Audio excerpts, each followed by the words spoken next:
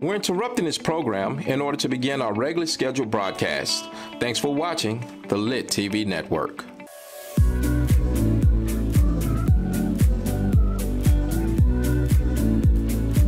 Hey, hey, hey, welcome to Kim's Universe. I'm so happy to be back. I have to say, gosh, prayer changes things. We have walked through some seasons, but um, welcome back to you all viewing and welcome back to me. I want to introduce my um, I'm I'm about to call in my co-hosts, and that's what they are. I thank them for my for support. Alana Winns and Twyla Prindle, come on on and introduce yourselves one by one. Lovely beauties. Thank you, Jesus. Well, hello, hello. Good afternoon.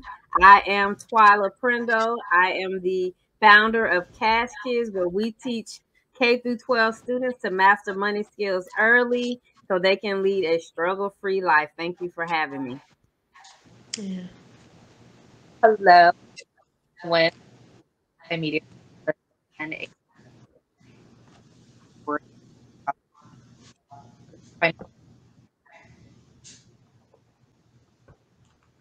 Okay, so um, I want to start off with I would say, look at my face. The theme, first of all, we began to discuss slavery in the United States about eight to nine weeks ago, maybe three months ago, actually, the beginning of the summer. Um, I had to take some time off because of my own need to do self care. So we're back, but in the climate of that discussion, what we found is that there's a discussion that had been going around concerning slavery benefiting um, African Americans or Africans, right? And the thing that strikes out to me is, is that first of all, when we first started discussing this information, slavery in United States, I have my paperwork. I sent it on point. Um, I feel like because um, here it is that this information came up and it hit Florida. And all of us have um, longevity in Florida, the three of us. Um, however, I asked my co host, the two of them, to go back to education. Um, education disadvantages so that we can actually look at the opportunities and educate the parents, our communities on what we need to do to overcome the hurdles of individuals first thinking that slavery was a benefit. Um, I could go to, let me go to my notes before we start, ladies. I want to um, read something because I didn't, um, I didn't um, copy it. And um, I went to statistics on slavery because I do like to research. And um, this uh, book came up. It was by an author called Eric Williams. And I just want to read a couple of um, just two paragraphs. It said, Few works of history have exerted as powerful an influence as a book published in 1944 called Capitalism and Slavery. Its authors or author Eric Williams, later the Prime Minister of Trinidad and Tobago, charged that Black history was the engine that, or Black slavery, I'm sorry, was the engine that propelled Europe's rise to global economic dominance. He maintained that Europeans' conquest and settlement of the New World, keep that that word, those two words, New World, because it's going around right now, depended on the um, enslavement of millions of Black slaves who helped to amass the capital that financed the Industrial Revolution.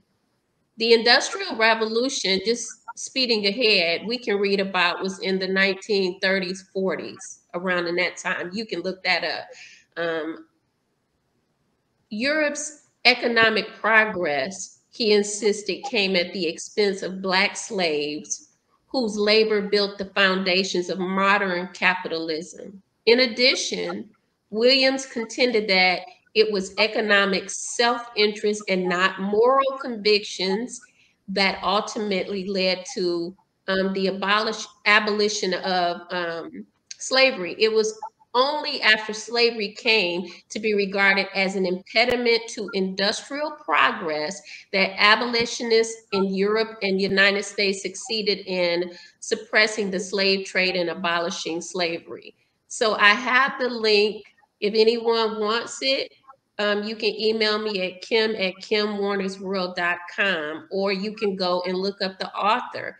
Um, the, the information I gave is on Eric Williams, Capitalism and Slavery. Okay, so that's to the audience.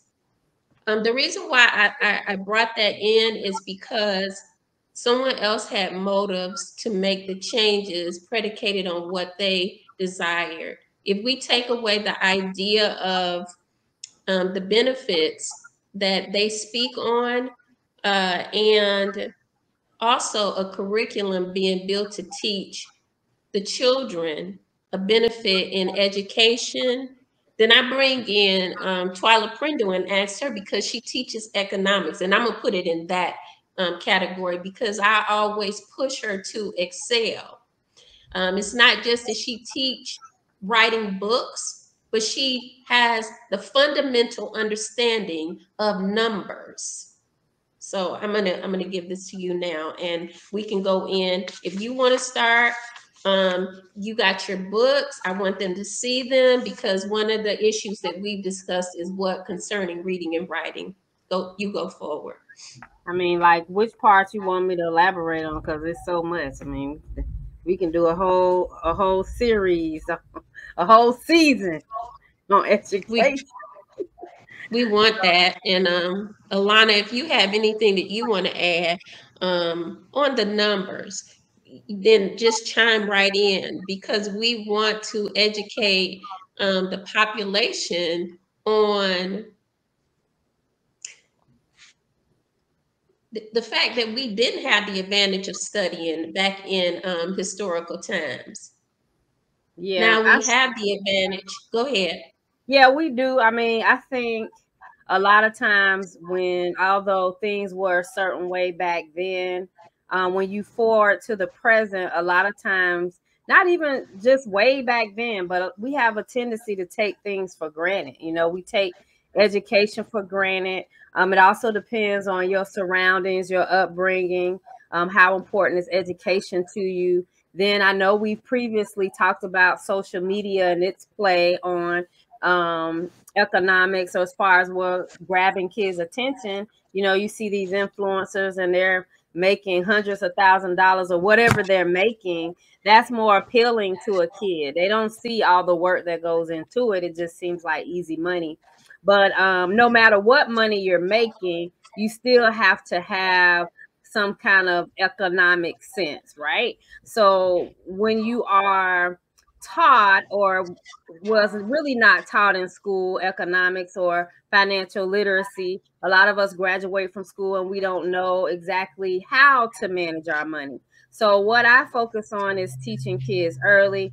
Um, we all know that well some of us know that kids pretty much they have their mind set on how they're going to handle their money by age 11 that is why it's so important for you to teach kids early um, I know you wanted me to show books, so I've written many books. I have a few here, and everything I do, I try to tie it into um, the curriculum and making sure that kids are getting what they need. So even when we talk talk about reading, yes, I'm doing financial literacy, but I try to incorporate reading, writing, and math all together one. So this one is appropriate for the season coming up, saving money for Christmas. And I know that people will say, oh, yeah, okay, so this is a Christmas book. It's really not a Christmas book because in this book, the kids are learning how to save money for Christmas. And when we talk about our community or just things at hand, is just that, you know, we think there's a certain season for things. And so what? you know november december time frame that's when we're shopping but when actuality you know these things have been planned should have been planned year round you know there's a time where i don't have as many people to shop for now but most of the time i will be done with my christmas shopping by march that's just me you know not saying other people should be that way but that's one then i have one um this is a coloring book. So I have two coloring books, and I don't have the other one with me, but this is Exploring the World of Investing. So just, you know, kids are not too young. A lot of times we think that when I go and present financial literacy, they say, okay, well, this is for high school students. No, we have to start when the kids are young, kindergarten. That's when we need to start. Because I guarantee you, if I hold a dollar up in front of a two year old, they will grab it and they know what it's for. This is another one I have. Why did I get this credit card? Teaching kids about credit, teaching them about debt. Um, this is a raise it up again. Okay. Why did I get this credit card? I have another one called. I love debt- the faces. Yeah. Um, yeah, another one I have called Debt Diaries. It's more on. It's an anthology actually. So again, that's another way where I incorporate writing into um, the curriculum that I have because the Debt Diaries is their stories written by kids that their main character had to get in some form of debt, but then they had to get out and learn lessons from it. So that's one. This is the very first children's book I wrote. Can I have some money, please? Of course, you know, all my books are about money. And then we have this one, which is the most popular. Um, where is my money? It's all about a little girl who can't find her money. And then she has a temper tantrum when her parents remind her that hey, you spend all your toys and money on uh toys and all your money on toys and candy. And this is the latest one. It is coming out um soon. Came up with doing some little extra surprises with this one, incorporating some um, AR and VR technology in this book. So this will be a good one. What would you do with the hundred dollars? So it's all about two kids who both have a hundred dollars and they're trying to figure out what to do with it. One takes a path of savings, the other takes a path of investing, and it teaches you all the different um, aspects of saving because it's more to saving than just putting it in a to a bank account. There's more to investing than just getting into the stock market. So that's what it's all about. And so that's a little synopsis of the books that I have, or some of them actually. Okay. Wonderful. And those books I've invested in greatly for people in the mental health um, area because without being able to add, read, and write, it's going to cause mental health conditions on the level of self esteem and confidence. And um, my grandchildren have had them. So, Alana, um, okay, first of all, I'm going to say this is a curriculum to me whereas Cash Kids has provided this um, type of um, information and after school programs for how many? It's over a decade. How many years? Depends on where how you look at it, because of course, you know everything. I always say it's a marathon and not a sprint. Because when I first started, you know, it was a summer camp. Then it just kind of grew as time went on. But from the time that I actually like incorporated, we're talking about since what 2005 ish. So we're looking okay. at almost 20 years. Yeah. Yeah. Okay. So Alana, my question to you: When we look at what um, Cash Kids has provided to um, actually the world, we can see a viable curriculum, right? Can you elaborate on that and the power that it would bring to our children if the parents and communities all over the world actually understood? Because it's sitting right there in Jacksonville. Um, I thought it was really uh, interesting when thinking about how I think in school, when we learn about slavery, or maybe I'm just, I can only speak for myself, I feel like there's this kind of romanticized version of how slavery ended, where folks, you know, the powers that be, if you will, were thinking of the best interest of black people you know and the fact that you know they they mm-hmm. wanted um mm-hmm. the that social rights and human rights right at the forefront of their mind when they ended slavery. But you know, well, we know in the research that Ms. Kemp did, that's not necessarily the case. The industrialized industry, or the industrial industry rather, was at the forefront of their mind, and it was better for them to invest in that aspect um, as opposed to relying on the manpower of slavery. So I think that's an important. Um, I think that's something very important to keep in mind because keeping that in mind, we can move forward knowing that empowering Black people wasn't exactly the goal. And okay, you know what I mean? And so that's important too, because when we think about desegregation in schools, we can almost take that same concept and apply that in those situations as well. And so the books that Twyla has written is deprogramming some of that those falsity, that false narrative that was instilled in us, um, which is very important. And I think Very. it's also filling in the gaps of education during the integration period. Because again, if we are are kind of going with the notion empowering Black people wasn't necessarily necessarily the goal when abolishing slavery and when integrating the schools, then we were being programmed at a disadvantage. Our people from the very beginning. And right. so right now with Twyla's books and a lot of Black people within the community who are really trying to empower and instill um, a lot of those foundational tools that we weren't given from the very beginning. I think, again, it's about us now reprogramming ourselves, but we also have to be kind of receptive to that and understanding that. Not everybody understands the complexity and how far back that It goes. exactly. Okay, so um, I love the powers that be. I love that you brought up the powers that be because a lot of times in my classes, I pull out this information in the context of getting back to our individuality. And the reason why we are disadvantaged, number one, is because we don't understand that knowledge is an advancement. We didn't have the opportunity back in history because we were only taught, if that, the Bible. Um, and I'm not putting it down, but we're going to keep it real. We were only taught with the powers that would be wanted us to be taught. So that means that someone's making a decision for us. I I have a problem with staying in the mind of someone making a decision for us.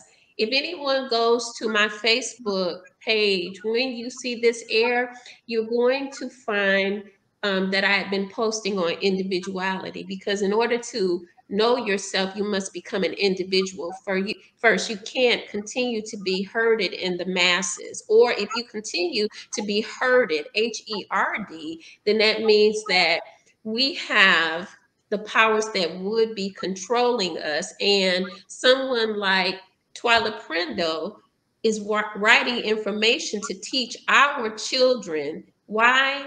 Because generations would halt and stop having the knowledge of not saving but being capitalistic being used and their money is going to a system they will learn how to put their money into a system as her information her books all the anthologies that she's written because books they only point to knowledge they point to information that can be um, something that's going to change your life. Number one, because it's teaching our generations how to become prosperous and be in good health. That's what the Bible says prosperity. God gives you the power to obtain wealth. Whenever someone comes out the gate and they can teach, yes, it is different. They can teach you how to individually learn how to manage money. And we are a culture, others have tribes. We got to come back into our tribes, and maybe that's why they're my co hosts because they keep me grounded. But the fact of the matter that you see someone that has written programs and curriculums. That's what it is because it's teaching is in the after school programs and other programs at this time that can deprogram us from just giving our energy to them going to work, these people, the powers that be, and teaching our children. I say us because I told her she she she should teach adults. However, moving forward, you understand? Back to you all. Because here, let me let's go to um teachers in the classroom size. Do you want to go there or where you want to look at? The testing and curriculum. Of course, you know, the notes, we I got some questions. I mean, I just think it just depends. I mean, if you want to talk about the classroom size, um, at least here, I, I believe, if I'm not mistaken, it's one teacher to every 22 kids. Um, I think like in some of the conversations that I've had with some parents, and again, you know, I don't like to wholly knock the parents because you're a product of your environment. You know, everybody's brought up differently, and we can say that, okay, well, you should do this, but if if you haven't been around that or raised around that, you are a product of your environment. And I think, like as I talk to parents, sometimes I'm surprised that you know there are many parents who feel like um, what their child knows or does not know is entirely up to the teacher. And my response is always to that, well, okay, first, how many kids do you have? All right, it might be two or three kids. Okay, can you handle your two or three kids at all times? No, no one can. But you expect this teacher to handle 22 some odd kids. It could be 15. I don't care if it's 10, that's still a lot. You expect this teacher to handle all these kids, all these different personalities, different upbringings, different levels, and actually be able to teach wholeheartedly on top of all the other crap for what I'm for lack of a better word that they have to deal with that's coming especially from our state in Florida. So I think you know the class size is is is a is a conversation, but a different conversation to what you know actually is going on. You know, you think about teacher shortages, you know, are there enough teachers? I'm sure there's plenty of teachers out there. It's just a matter of, you know, do you want to teach? Um, and when I say do you want to teach, it's not because you can't like and I'm speaking just for Florida, what I see when I'm in the school you can't teach like you used to it. For somebody to come in and, and have a heart to say i want to teach the kids i want to do xyz it, it's just not so cut and dry like that. And then in florida here you know you start talking about slavery or you know some other stuff you can go to jail now. You might get some jail time you might get fined. You're already not paying the teachers enough. So on top of that let's say for me if i even wanted to teach i just wouldn't do it. It's too much liability. It's you know, the kids off the chain. It's just it's a whole conversation around it, and I don't want to take up the whole time. So, okay, you want to add uh, Alana before I go in because I, I don't know. I wanted to say. Go ahead. I'll let you finish your thought, and I can plug in. The class size, and I avert to the fact that the school system is a part of the system. Mm-hmm. And I know that, you know, I was, you know, you gave me information that made me think where there's options. We can go into the options next week very much. But my thing is, this is still a part of the capitalistic um, system, which means that the powers that be have created a school system that really is not designed for certain people.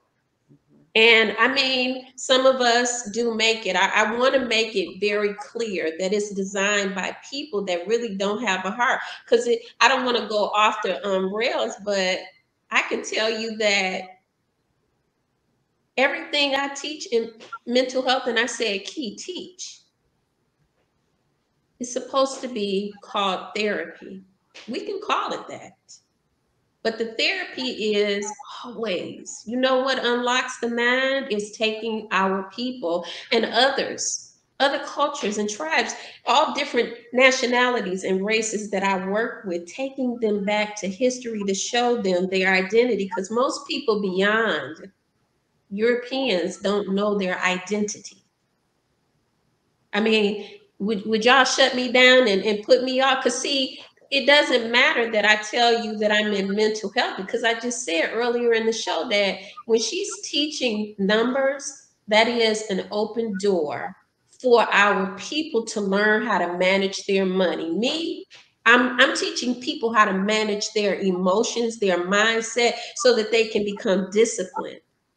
Now, I, st- I don't think that you can put me and you in the same category as a school system because we have the freedom, so to speak, to be able to teach on our terms. We're not bound by a system and rules. We do have some, you know, but we're not bound by it. You know, like here, a teacher has to stay on path. You know, you have your lesson plans on the board. Right, I get it.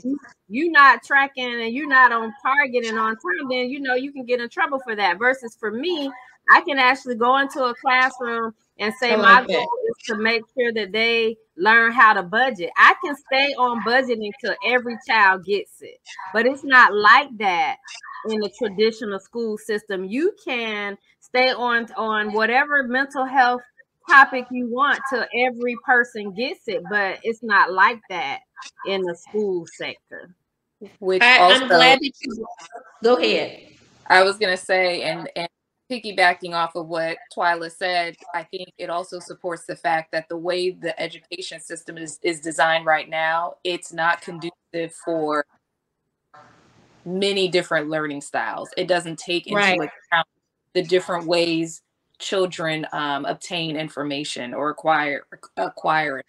And I think that's really important because you have different styles just based on how people perceive information and then you have different learning styles based on um, how people grew up and their specific needs. You know what I mean? Like it, it goes pretty deep in terms of what um, a child needs and why and how they um, obtain information. Again, some people, you know, some people learn by doing, by physically moving, by music, by writing, or, you know, by listening.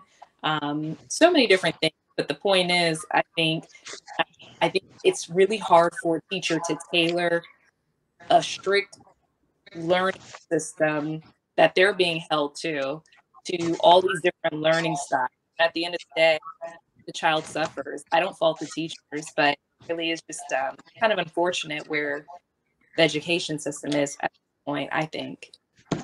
Okay, let me just give one um, little scripture. I want to give this here scripture because I want us to understand audience, not just ourselves.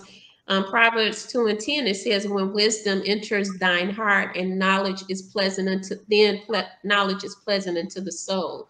So it, you know, it takes some time for us to understand that knowledge is the way um, to gain anything, and that's through. I, I even tell here, you know, people that I work with, reading is fun for the mental state. Read and read and read. You see the words linguistics is there, fun for the mental, fundamental.